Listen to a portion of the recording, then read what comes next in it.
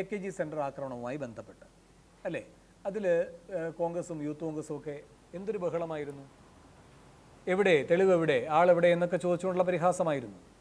എന്നിട്ട് അതിന്റെ അന്വേഷണം ഏത് രൂപത്തിലാണ് പുരോഗമിച്ചത്? ഇപ്പോൾ രണ്ടുപേർ ഒളിവിൽ പോയിരിക്കുന്നത് ഏത് ഏത് പാർട്ടിയിൽപ്പെട്ടവരാണ്?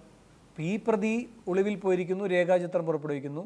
താരതമ്യമില്ലാത്ത കേസാണെന്ന് മനസ്സിലാക്കിക്കൊണ്ട് തന്നെയാണ് ഞാൻ പറയുന്നത് കേട്ടോ. പക്ഷേ ഒളിവിൽ പോവുകയാണ്. അപ്പോൾ ഒരു ക്രിമിനലായാലും ഒരു രാഷ്ട്രീയ ക്രിമിനൽ പ്രവൃത്തി ചെയ്ത ആളായാലും ഒക്കെ പോലീസിന്റെ കണ്ണുവെട്ടിച്ച് പോകും. അവരെ പിന്തുടർന്ന് കണ്ടെത്തുക തന്നെ ചെയ്യും police.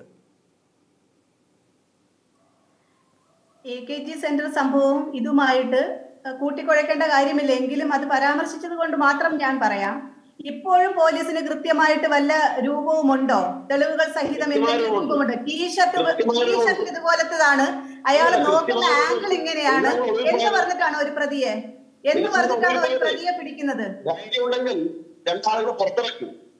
രണ്ടാളുകളെ രണ്ടാളുകളെ നിങ്ങളുടെ ഈ ക്രിമിനൽ പോലീസുകാരുള്ള.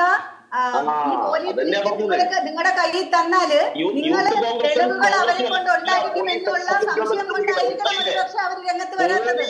അത് പോലീസ് കൃത്യമായിട്ട് കൃത്യമായിട്ട് തെളിവ് കൊണ്ടുവരട്ടെ.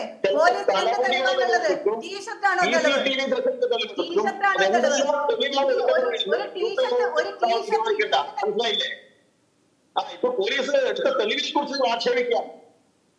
പോലീസ് എങ്ങനെയാണ് ആ തെളിവ് ശേഖരിച്ചത് മനസ്സിലായല്ലോ? കേട്ടില്ലേ?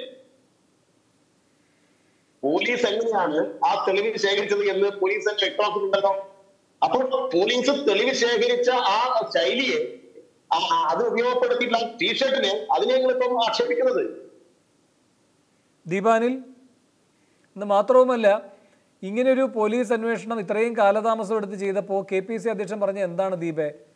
ഈ ചെറുപ്പക്കാരെ വിളിച്ചുകൊണ്ട് വന്ന് എന്തോ ഒരു ചോക്ലേറ്റ് കൊടുത്ത് അവരെ കൊണ്ട് പ്രത്യേക രൂപത്തിൽ എനിക്ക് ശരിക്കും കേൾക്കുന്നില്ലായിരുന്നു. സോറി സോറി എനിക്ക് കേൾക്കുന്നില്ലായിരുന്നു. ദീപ പറയോ? ദീപ ഇപ്പോ സനോജ് പറയുകയായിരുന്നു ശാസ്ത്രീയമായി കാര്യങ്ങൾ അന്വേഷിക്കുന്നതിന്റെ ഭാഗമായിട്ടാണ് ഈ ടീഷർട്ടിലേക്കൊക്കെ പോകുന്നത്. അങ്ങനെയാണ് ആളെ കണ്ടെത്തുന്നത്.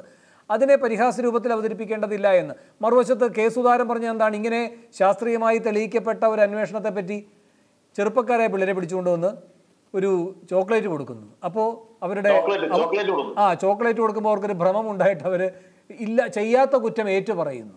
കോടതിയിൽ നിന്നോ ഇത്? എന്തിനാണ്? ഇപ്പൊ ആ വ്യക്തിക്ക് ജിതിനിപ്പോ ജാമ്യം കിട്ടിയിട്ടുണ്ട്.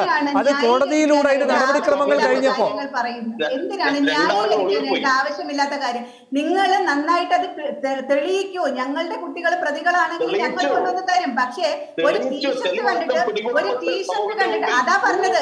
അതാ. പറഞ്ഞത്. നിങ്ങൾ നിങ്ങൾ ചോക്ലേറ്റ് നിങ്ങൾ ഒളിപ്പിച്ച നിങ്ങൾ ചോക്ലേറ്റ് നിങ്ങളുടെ പോലീസ് ഇല്ല കേരള കേരള പോലീസിൽ കേരള പോലീസിലെ എല്ലാ വെച്ചിട്ടുണ്ടല്ലോ. കേരള പോലീസിലെ കേരള പോലീസിലെ എല്ലാവരെയും കേരള പോലീസിലെ എല്ലാവരെയും പോലീസാണ്. ഇത് ഇത് ഇത് കേരള പോലീസിലെ എല്ലാവരെയും ഞങ്ങൾ പറയുന്നില്ല പക്ഷെ അതിൽ തൊണ്ണൂറ് തൊണ്ണൂറ് ശതമാനം ആളുകളും ഇന്ന് സി പി എമ്മിന് വേണ്ടി പ്രവർത്തിക്കുന്നവരാണ് എന്നുള്ളത് രാഘവനെ കൊന്ന പോലീസ്.